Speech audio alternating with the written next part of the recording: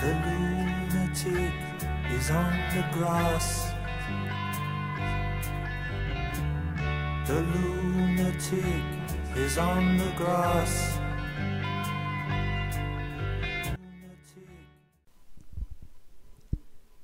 On June 19th and 20th, a typhoon slammed into Japan and the Fukushima prefecture. Here's a picture of the reactor from Sott.net prior to the typhoon. This is a recent picture. I don't know when it was taken, but this is about what's left of the Fukushima reactor number four with the spent fuel rods um, in it, sitting above the reactor itself. Now, here's this article from TEPCO going back to April 13th, 2011. TEPCO confirms reactor number four spent fuel pool is now an uncontrolled open air fission process. Now, here I want to find this article by um, Mike Adams, Natural News. He states the resulting releasing of radiation would turn North America into a dead zone for humans. Mutated and failed crops, radioactive groundwater, skyrocketing infant mortality, an explosion in cancer and infertility. This is what would be unleashed at any moment from an earthquake in Japan. Well, by the looks of this building, I don't think it's going to take an earthquake of 7.0 or anything really of that magnitude for this thing to completely collapse. uh, he goes on to say such an event could result in the release of 85 times the cesium 137 released by the Chernobyl catastrophe. And the Chernobyl catastrophe made its surrounding regions uninhabitable by humans for centuries.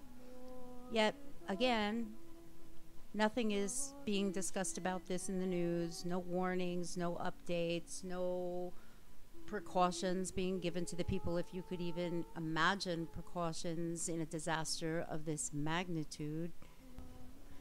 If the contamination of the entire northern half of the Pacific Ocean and everything in it wasn't enough to cause an outcry by every human being on the planet, we're now facing the imminent collapse of reactor number four. It's not a question, I don't think, anymore of if it will collapse, but when. I just want to give you some pertinent information because the government won't. The bomb dropped on Nagasaki, Japan, was contained about 13.6 pounds of enriched nuclear materials. There are 1,535 spent fuel rods, or 460 tons of enriched nuclear fuel, sitting in the spent fuel pool in reactor number four. This is equivalent to 920,000 pounds of enriched nuclear material. The fuel rods weigh 3.3 tons each. Now, to put this in perspective, okay, if that fuel pool goes, that will be equivalent to 67,647 nuclear bombs exploding simultaneously, or 67,647 Nagasaki's going off at once. This is an extinction level event.